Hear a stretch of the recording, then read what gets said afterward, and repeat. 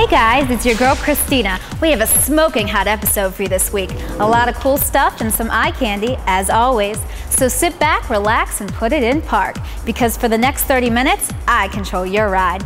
It's gonna be fast and loud, just like the whips from the boys here at Ace Electronics. So buckle up, it's Street Heaters time. It's time to burn.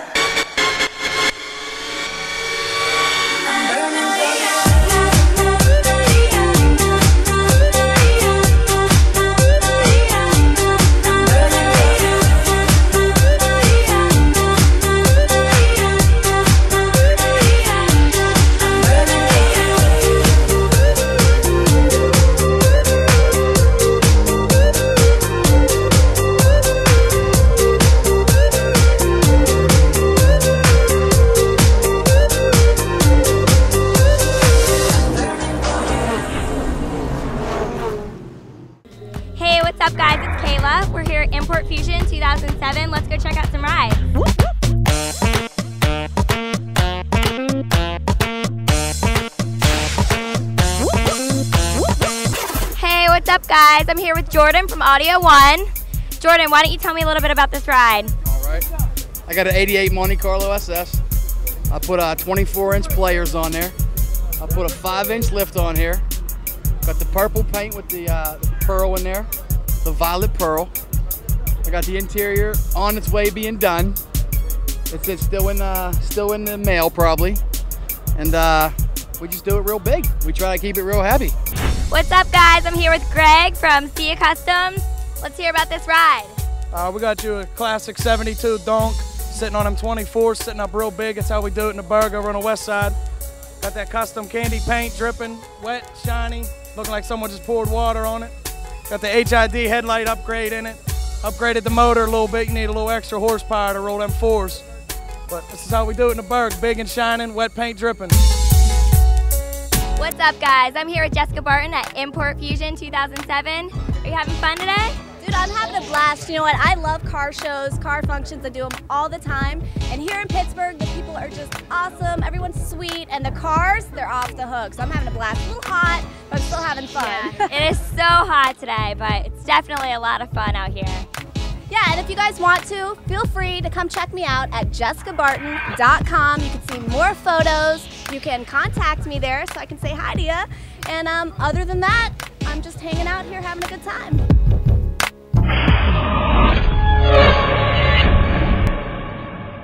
Hi, my name is Maya Simone, and I'm here with Street Heaters. We're at the 2007 Nopi Nationals in Pittsburgh, Pennsylvania.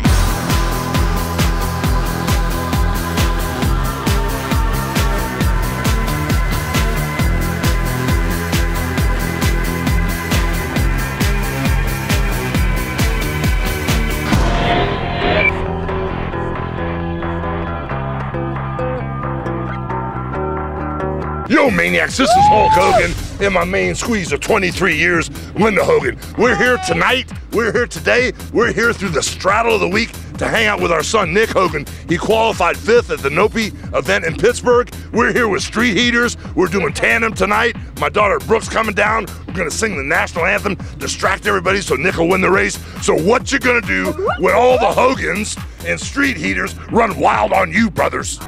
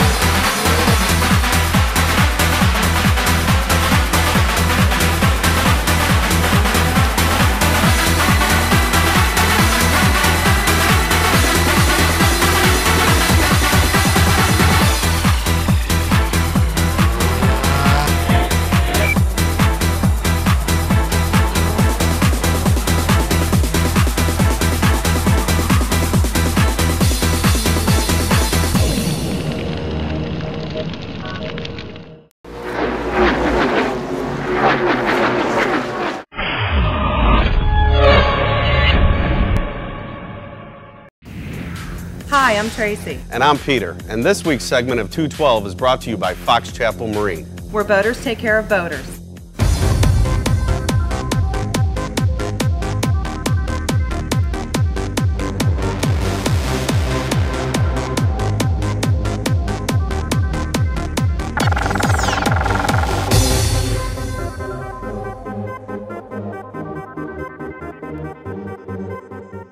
Did you know that in PA, anybody operating a personal watercraft from the age of 13 to the age of 130 has to be licensed?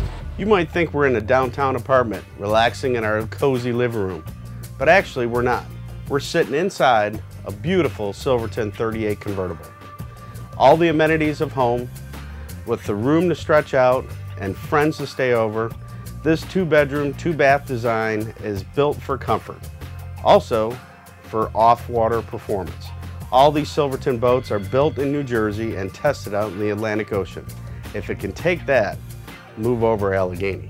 With the amenities of a trendy New York City apartment, this boat has full galley, granite countertops, refrigerator freezer, full-size Ford Master Suite with private entrance to the shower and head facilities to make everybody feel comfortable at home.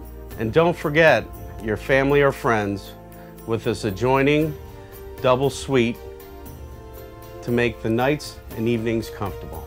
This is just one in a long line of Silvertons available through Fox Chapel Marine. The 38 convertible, we have sport yachts, we have motor yachts. Silverton starts at 33 feet and goes up to over 50 feet. We're here to fit the boat into your lifestyle and your budget. As you're driving your new Silverton from Mission Control and you can view everything around you, this beauty handles like a dream and cruises the rivers like nobody else. In the luxury of a New York City apartment, you can't go wrong. So please visit our website at foxchapelmarine.com for a complete inventory of all our Silvertons we have available. That's all the time we have for this week's 212 segment, brought to you by Fox Chapel Marine. I'm Peter. And I'm Tracy. And we'll see you next week. Hi everyone, I'm Kelly, and as you can see, we are surrounded by some of the most rare exotic speed demons in the world. Some of these cars you can't even put a price on, although if you could, they might be just a little bit out of my range. We're gonna go over and talk to Michael. He's gonna tell us about this Spyker C8 Spider. Let's not keep him waiting. Come on, let's go. What did I tell you? Is this car sexy or what?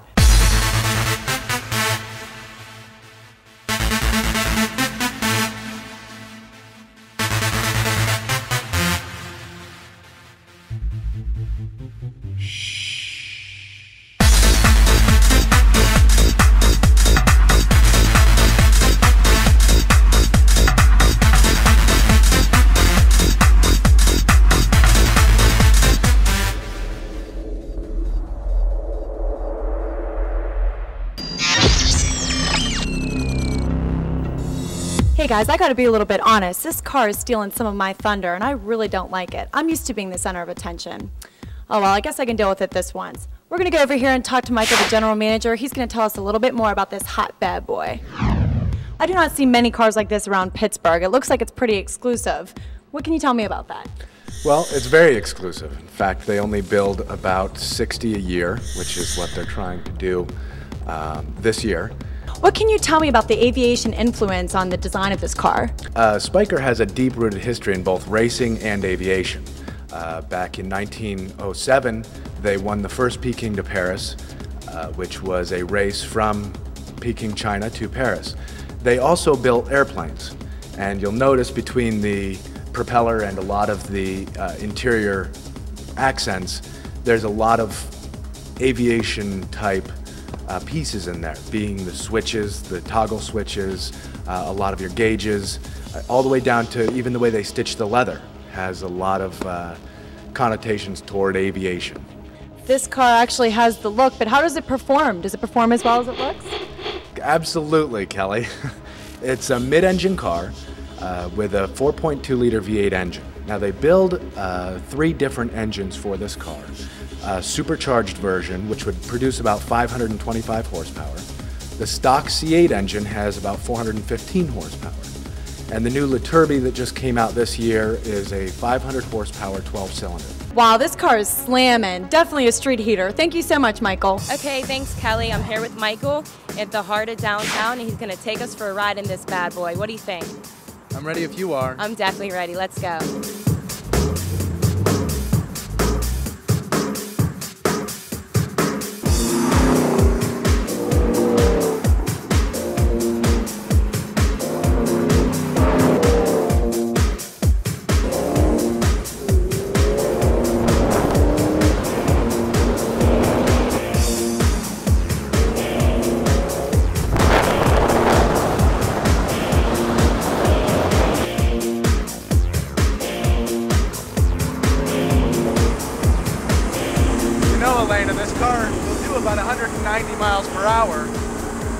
Really going to get to test that today, but uh, maybe you'll get a little taste here.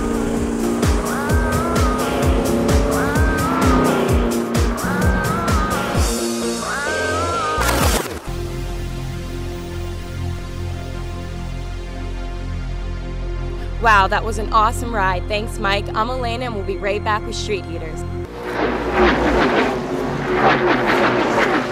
You know some maniacs? This is Hulk Hogan, the greatest of all time. This is my main squeeze, Linda Hogan, and you're watching Street Heaters. So what you gonna do, brother, when the largest arms in the world, Linda Hogan with the biggest gimmicks in the world, and Street Heaters runs wild on you? What you gonna do, Street Heaters? Hey everyone, I'm Kayla, and I'm here to bring you this week's Extreme Style segment, brought to you by Extreme Car and Truck.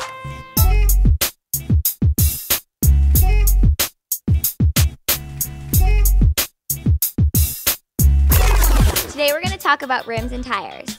You guys carry a pretty wide selection of rims and tires here.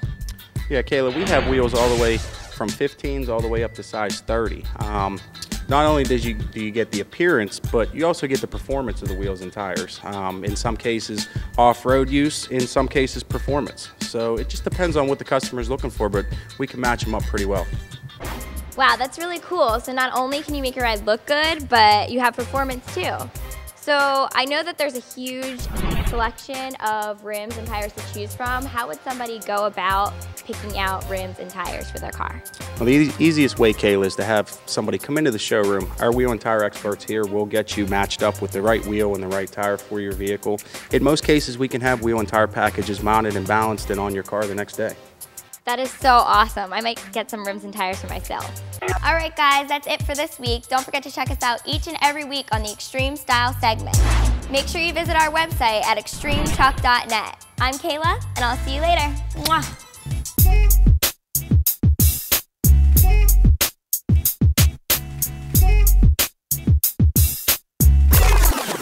Hi, we're here with Michael. What's the name of this car? This is a pretty sweet ride. This is a 1965 Ferrari 275 Speciale Competizione. Competency Wadi? tell me a little Competition in English. tell me a little bit about this car. This is one of three made.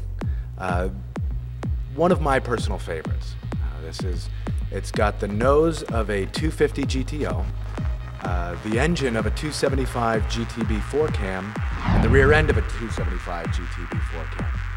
But completely set up from ra- for racing. It was a Ferrari factory team car. Uh, like I said, because of it being a Ferrari team car, they only built three of these. And so it's a very significant piece in Ferrari history, and the price tag reflects that. So you're telling me there's only three of these in the whole entire world? Three in the whole world, and possibly two that are le- that are known of. Wow, this car is smoking hot. If I were a thief, I'd probably have to have to leave with this one. All right, let's take a look at another car.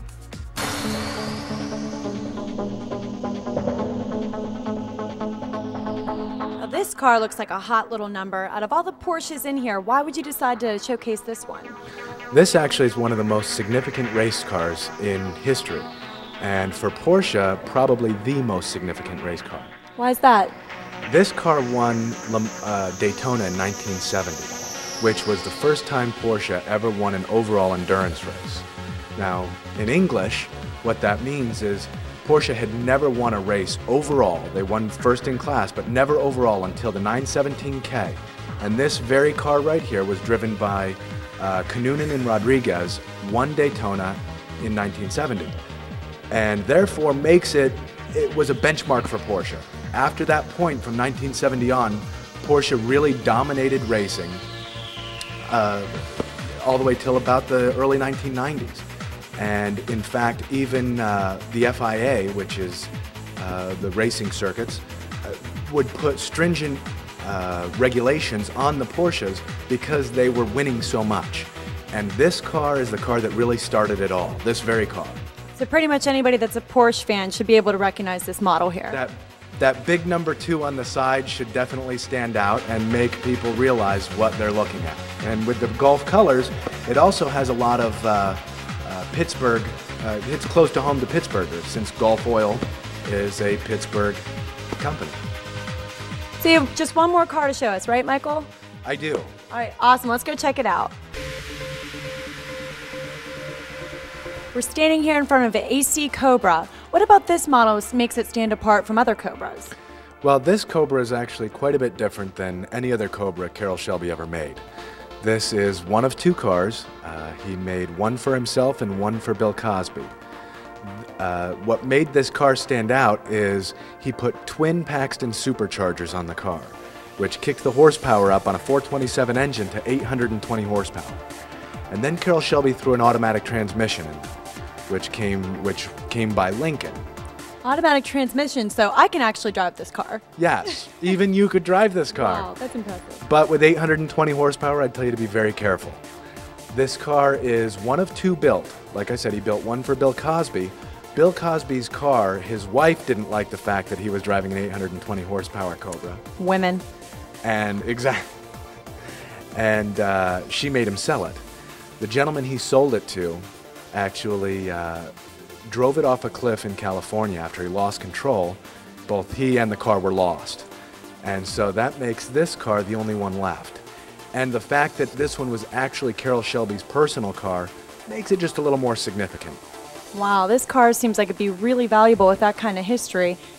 Yeah, probably the, one of the most valuable, actually the most valuable Shelby AC Cobra street car out there. And you'll notice that there's differences on the car with, uh, with a bul big bulge in the hood for the two superchargers and uh, that little automatic transmission in the center console being the only automatic transmission Cobra out in existence. Wow, I stopped listening after you said big bulge. You know that?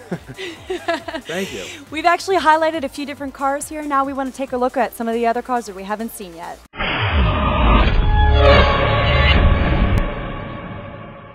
Hey guys, what's up? It's your girl Kristen. I'm here with my boy Ryan, shop manager at Ace Electronics in Pittsburgh. How are you doing today, Ryan? I'm good. How about yourself? I'm good. Tell me a little bit about this whip behind us. It's a 1986 Monte Carlo. Has a full air suspension. I have a custom paint job. Okay, I like these little pink flames you got going on here. What about this paint job? Uh, it has a uh, full triple two-tone uh, pearl flames in it. Okay, I like this. I like the little pink flames going on. Tell me what's going on in your back seat. Uh, it has a full custom air ride suspension, 10 switches. Uh, I have two tanks, uh, eight valves. Okay, now here's some music playing. What do you got in the trunk? I have a whole, full custom uh, enclosure. It's all power base extreme. Okay, well thank you Ryan so much for your time. Thanks, and uh, for all the viewers, uh, stop in the Ace Electronics. We'll uh, take care of any of your uh, audio or video needs. That's all the street heaters for now. We'll be right back.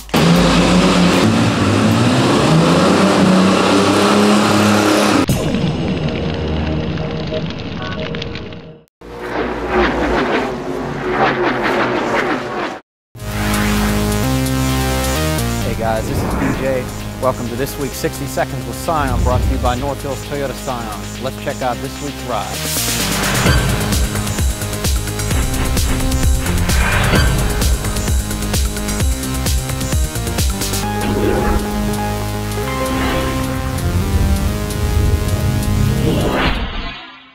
Hey guys, this is DJ. This is how I hooked up my Scion XB. Up front, we got the DC Sports strut bar, technology, hot wires, and plugs. Motegi DP12, Concept 12, along with the Concept 1400 watt amp.